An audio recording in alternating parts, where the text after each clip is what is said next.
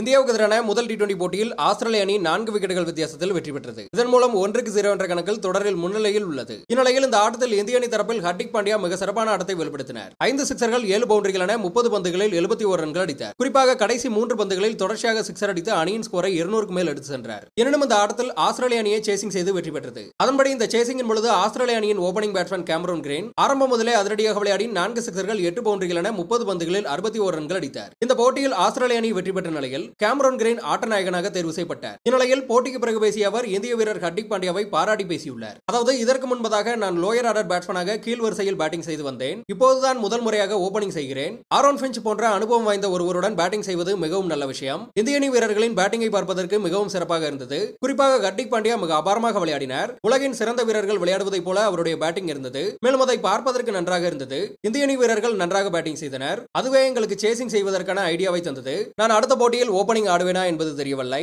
அது அணி நிர்வாகம் எடுக்கும் முடிவில் உள்ளது என கேமரோன் கிரீன் தெரிவித்துள்ளார்